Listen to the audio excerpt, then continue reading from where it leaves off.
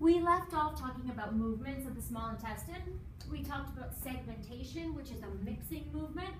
Um, and then we talked about peristalsis, which propels things forward through the small intestine. We also have a couple reflexes um, that are involved with moving food through the small intestine and into the large intestine and kind of keeping everything moving when we've got a meal coming in. The gastroenteric reflex, reflex stimulates the motility along the small intestine um, to push everything through the small intestine and then from the small intestine into the large intestine. This is stimulated when food starts to move from the stomach into the duodenum. Okay, when a, when the stomach is releasing something into the duodenum, that pretty much says, okay, I've got a big meal here. Right, I have this whole big bunch of food and I'm gonna start putting it into the small intestine. So the gastroenteric reflex tells the small intestine, okay, push this all through and make room because there's a lot more about to come your way from the stomach. Um, and this kind of happens in cycles, it's kind of cyclical. So initially what happens is we see that gastrin and secretin and cholecystokinin are released. So the gastrin is going to stimulate movement from the stomach to the small intestine and then the small intestine to the large intestine. So literally like the relaxation of the sphincters and contraction of the organs so that little bits go from stomach to small intestine through the pyloric valve or pyloric sphincter and then from the small intestine to the large intestine through the ileocecal valve or um, ileal orifice. So initially that's what happens. Um, the cholecystokinin and um, the secretin, remember we said stimulate the pancreas and then the liver and gallbladder. So that's also important because remember what's happening is we're taking stuff, um, we said from the stomach into the small intestine. So what do we have to do right when we put that chyme in the small intestine? We have to neutralize the acid and start to digest it. So in that case, we need to get stuff from the liver and gallbladder, we need to get stuff from the pancreas, and put everything into um, that mixing bowl. Okay, so the gastrin is gonna be stimulating the movement, and the secretin and cholecystokinin are initially going to be um, stimulating the secretions and the release of everything into that mixing bowl. Now that's what happens initially. Um, eventually though, remember I said that this was cyclical, kind of happens in little cycles. After that, what happens is that we're gonna actually inhibit gastrin secretion. Um, and inhibiting that gastrin secretion is important because remember we said that gastrin stimulates the motility and the relaxation of those valves. So um, what this kind of does is it gastrin gets released and we relax the valves and everything gets pushed forward. Then we inhibit gastrin and the valves contract. Then gastrin gets released, we relax the valves, we move something forward, and then we inhibit gastrin and it contracts.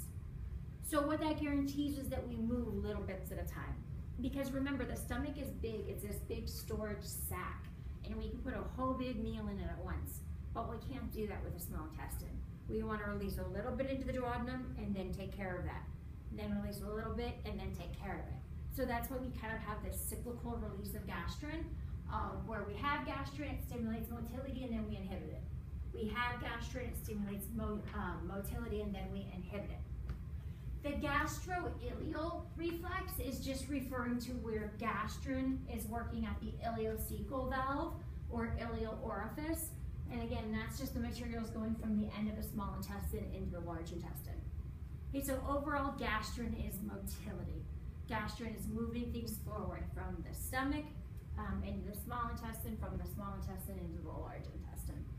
And then secretin and CCK are um, for secretions. So that brings us to the pancreas. Um, we looked at the pancreas a little bit already when we did endocrine, but we'll look more at its exocrine functions now.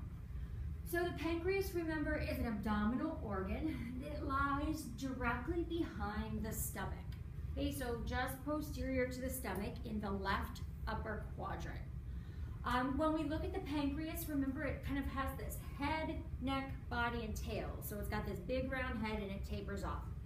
Um, and the head of the pancreas sits right in the curve of the duodenum.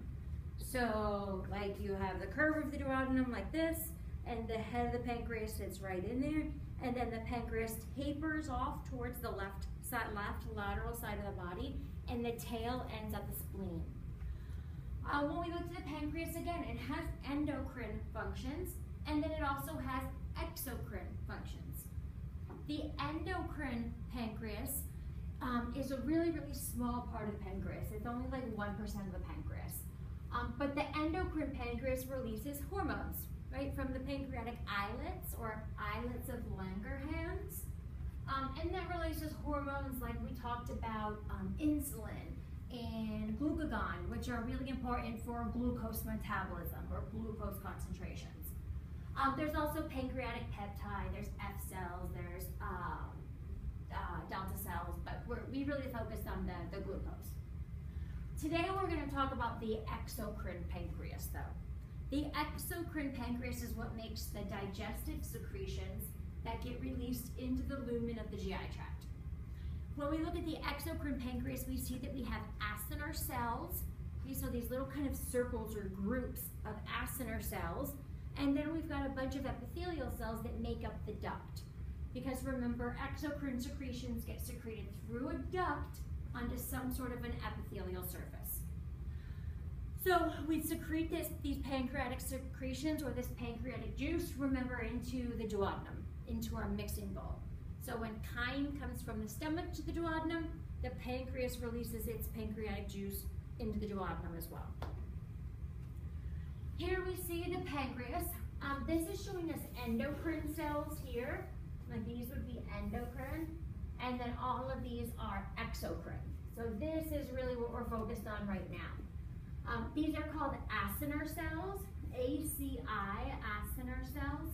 Um, we also call this whole group acini, so like a pancreatic acini, A-C-I-N-I, um, referring to the group of acinar cells. And then you see all of these are just epithelial cells that are lining this duct. Remember when we look at the pancreas, we have the main pancreatic duct going down the center of the pancreas, and then there's an additional accessory duct at the very end, um, right when we get to the duodenum. But essentially, these cells are going to make the pancreatic secretions, the pancreatic juice. It's going to get released into the duct and flow through the duct until it gets released into the duodenum.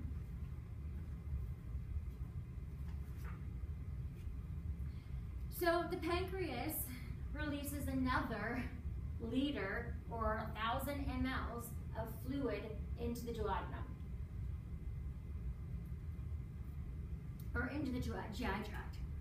So again, we have tons of fluid, right? We had a liter and a half of saliva. Um, in the stomach, we put another liter and a half in. In the um, small intestine, we put two liters in. Here from the pancreas, we're putting another liter in. Lots and lots of fluid going into the GI tract, so water is extremely important for digestion. When we look at the pancreatic juice that gets put um, into the duodenum, we see that it's, I mean, mostly water, right? There's lots and lots of water. Um, we also have what we call carbonates. So the pancreatic juice has carbonates present. And these carbonates are very important because they neutralize acid. Remember the chyme coming from the stomach is acidic. We put it in the duodenum and we've got to neutralize that acid quickly. The pancreatic juice is really important for that. Okay, it's full of carbonates. Carbonates neutralize the acid before the chyme gets pushed on to the next sections of the small intestine. We also have numerous different enzymes. The pancreas makes lots and lots of different kinds of enzymes that help us to further digest food. Um, we see pancreatic alpha amylase. This is kind of like salivary amylase. Remember, salivary amylase was in the saliva and it broke down carbohydrates. So pancreatic alpha amylase also breaks down carbs. It breaks down large polysaccharides like starches into smaller disaccharides and trisaccharides. Pancreatic lipase breaks down lipids. These are triglycerides into fatty acids and smaller lipids that are more easily absorbed. Again, lipase is an enzyme that breaks down lipid, pancreatic because it's coming from the pancreas.